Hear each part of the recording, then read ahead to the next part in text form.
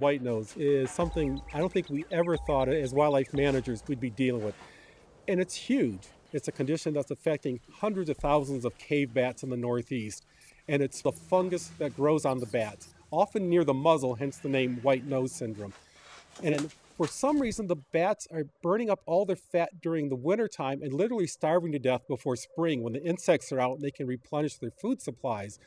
And the ones that survive the winter with white nose can actually come out of hibernation and make some recovery. Their body temperature is up, their immune system's going, they can fight off the fungus, but there doesn't seem to be any immunity. When they go back into hibernation again, they're just as likely to get white nose. And for as long as we have the right conditions, cold caves with hibernating bats, there doesn't seem to be anything that's going to stop this from spreading. There are 45 species of bats that live in North America, and about 23 of those are hibernating species, so they would all be susceptible to dying due to white nose syndrome. And the Indiana bat was one of the first endangered species ever listed in the United States. There were about 900,000 Indiana bats, which sounds like a lot, but actually the populations had already drastically declined.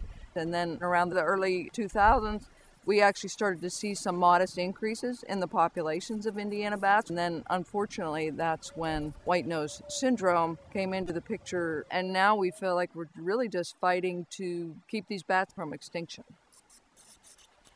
There were four sites in New York where white nose syndrome was first identified three winters ago. Bats were flying outside in the daylight in the middle of the winter, which are dead bats essentially. Now, this winter, it's in nine states in the Northeast, and so uh, we do feel it will show up in, in the Midwest as well as moving into the Southeast. And so here in the Midwest, Indiana bats are in their largest numbers and most of the sites are in a pretty small area. So once white nose syndrome would reach Indiana, it would spread through our bat populations pretty quickly.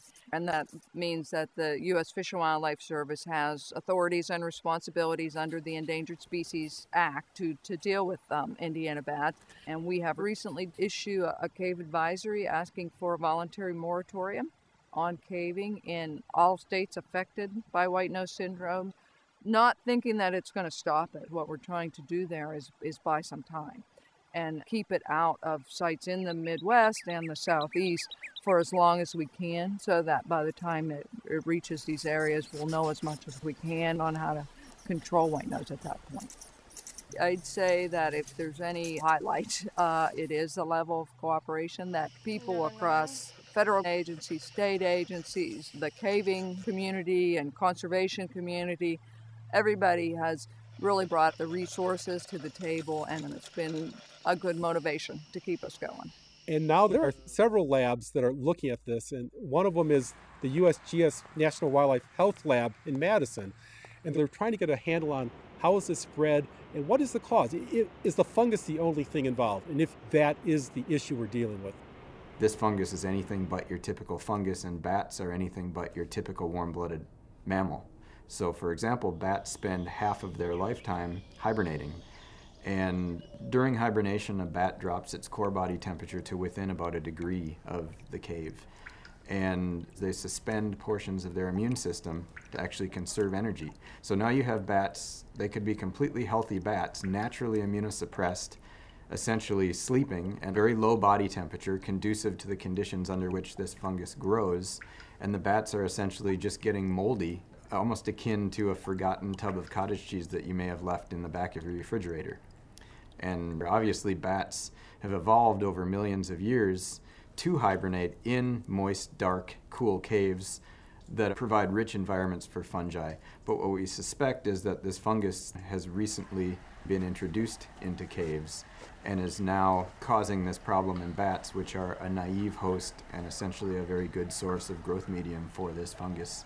We do have groups working on different potential control strategies, but I fear that the reality of it is is that it's very difficult to control once it's out of the bottle in a free-ranging wildlife population. If this was bird flu and this was a poultry farm with a million chickens, a 10 mile perimeter would be drawn around that farm and every chicken within that perimeter would be killed The farm would be disinfected using means that would be wholly inappropriate for caves because if we try to kill a pathogenic fungus, we're also killing all of the other fungi and bacteria that are part of the healthy microflora of that cave. So it's very tricky. I think that at, at the moment, the only management tool that we have in our box right now for controlling white nose syndrome is containment and not spreading it outside of the area where bats can spread it. If I had to come up with a couple of short words to describe white nose syndrome, I would describe it as an ecological disaster. I don't even think we can begin to predict what the effects of loss of 90% of our bat populations might be. So I think in the long run, if we lose most of our bats, that we'll be losing the major predator of the night flying insects out there. And we're looking, at this point, Fish and Wildlife Service estimates 400,000 bats have been lost to white nose. And each of those bats in the summertime is eating half its body weight in insects. That's 800,000 grams of insects. So, I mean, we're talking many tons of insects each night. In addition to what happens outside of the cave if we lose the bats, what happens inside the cave if we lose the bats? There are whole communities of animals adapted to living in cave environments that depend on bats in a lot of cases to bring nutrients into the cave. If we lose a large enough part, a population of our bats, it may reduce the amount of organic matter that's being brought in by these bats. So there may be other critters that are affected. Some of these are very rare, found in one or two caves in the world, and they could easily be lost. Over 400,000 bats have died since white nose hit. 25,000 of those have been Indiana bats. And so when you have a federally endangered species and that many are dying, it just goes to the core of the mission of the Forest Service to do whatever we can do to slow the spread of the, the transmission of white nose syndrome until the scientists can find out more about it.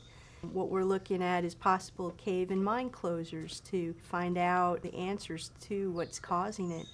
The National Speleological Society, the New England Cave Conservancy, the Southeast Cave Conservancy have all closed some of their managed or owned caves. And the caving community is very supportive of the efforts to slow the spread of white nose syndrome and give us a chance to find more out about this fungus and the disease it's just, I think, a good indication of what happens when you bring something foreign in that the ecosystem's not set to deal with. It's something that throws things out of balance. And eventually there'll be a new balance. That new balance may be we've lost a lot of species of bats before things settle out, or it might be we have much reduced populations of bats. This obviously will not be the end of the world, but it's going to change the world.